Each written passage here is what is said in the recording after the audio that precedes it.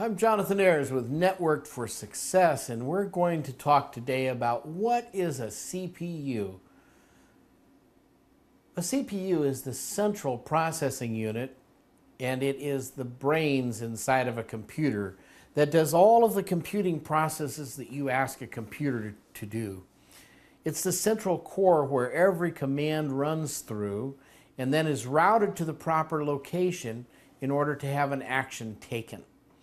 Now, there are many different types of CPUs available, but we all call them processors. And when you go to buy a computer, you'll be asking them, well, what type of processor does this have in it?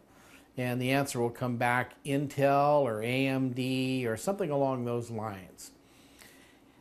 This computer in front of me is a Dell laptop, and it has a type of processor in it made by Intel that's called a Core 2 Duo and that means that it has two processors, two central processing units inside the processor.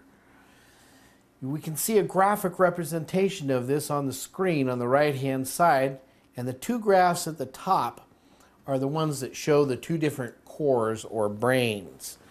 And they will give you a graph when an action occurs, they will plot that action for you to look at.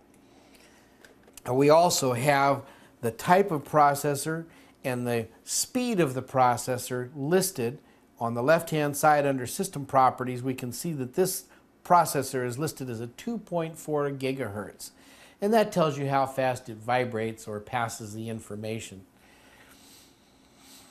So with two cores to this processor, two central processing units, this computer is going to be very effective at processing information because the central processing unit is what handles all of the commands that you give a computer.